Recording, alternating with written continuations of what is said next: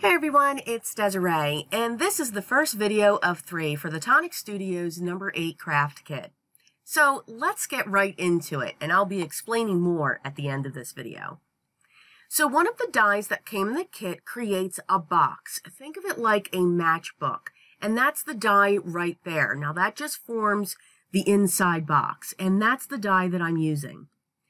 Then, if you remember the dies from my reveal, showed their cutouts. So you can put them in sections within this box and they will cut that portion out. So, and I chose the lattice one for this, and you'll need two of those pieces cut to create this project. I also cut four pieces of vellum and they measure a scant one and a quarter inch and, two, and a scant two and three eighths inch. Again, four.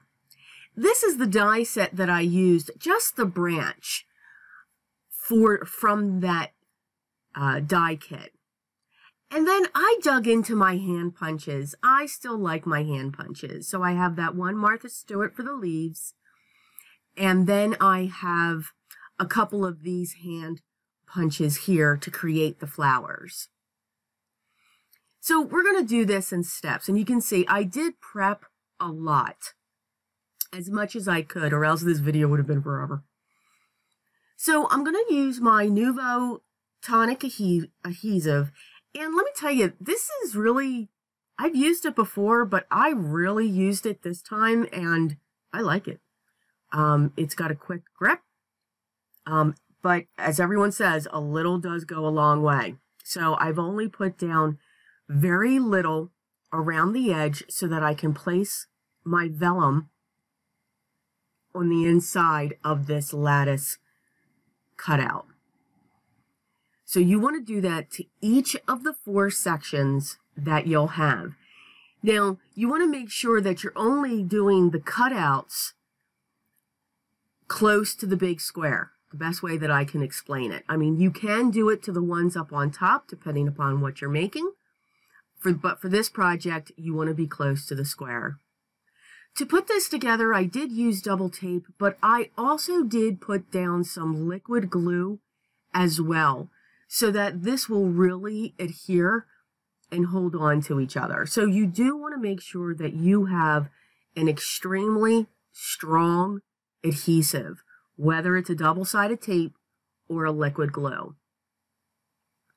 And I'm just using a, a tool. It's a, it's what I, I'll use, you'll see, to curl the flowers but just to, to press that down.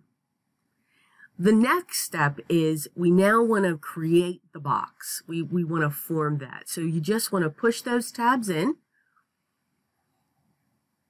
and then they're going to adhere on the inside.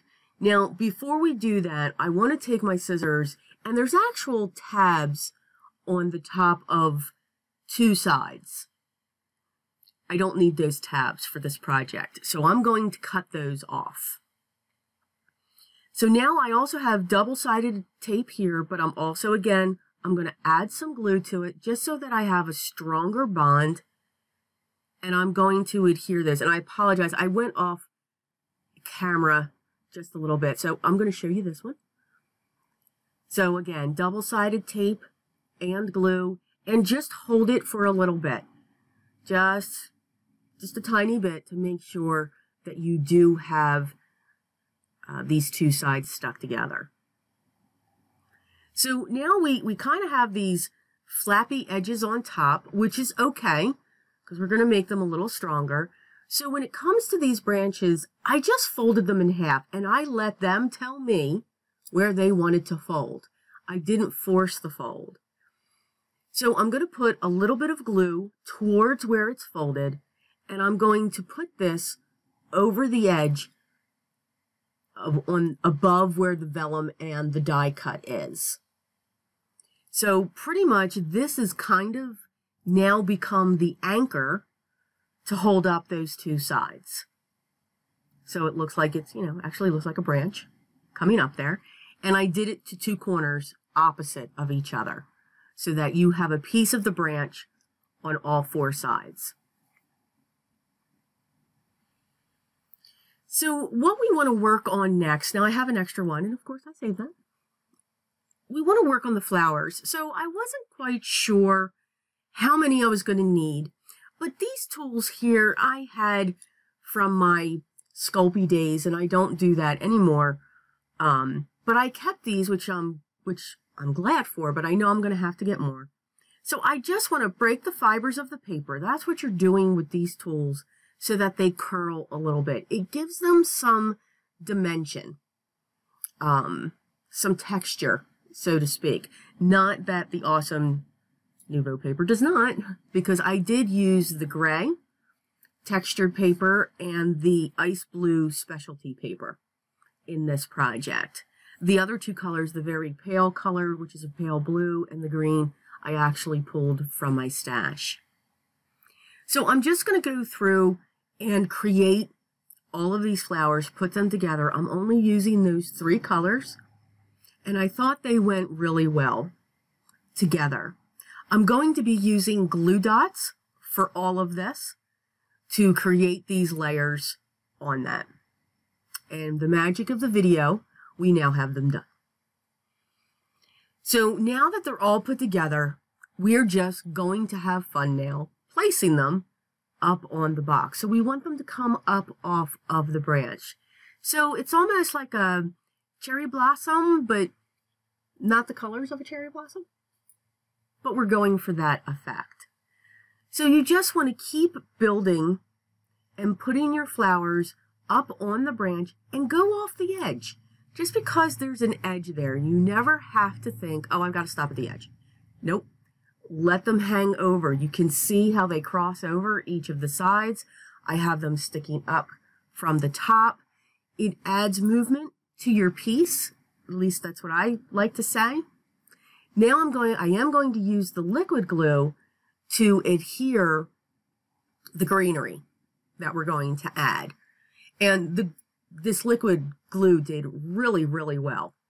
Very well. So again, just putting them in there, pressing down so that they stick. And then just filling in where you think you have a blank spot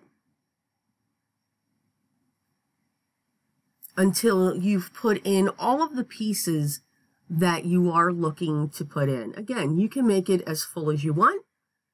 You can make it as less as you want. Excuse me. So within the kit, you got a sample of the blue denim Nuvo drops. So of course, we're going to use that for the flower centers. And then that just kind of ties in all of the blues and the grays that we used on this piece. And I think it looks really pretty. It looks like it's going to break at any moment, but trust me, it's it's really not. I mean, now of course you can't throw this across the room, um, but I mean it it is pretty sturdy. In case you were wondering, but I'm sure you're also wondering, okay, why did she create it to look like this? Let's put a tea light inside of it.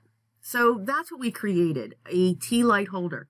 Now, this is for the flameless tea lights. Okay. I am not suggesting that you put a live lit flame tea light in this. Please don't do that. But this is the project that we created today. I hope you enjoyed it and just realize this is just one of the many things I'm going to show you that you can make from this kit. If you want to subscribe, go on to those links now. They are live. And the kit that you will be receiving is kit number nine. And if you haven't seen the preview for it, go on to the Tonic Studios YouTube channel. And wow, I am really excited. I cannot wait to get that kit.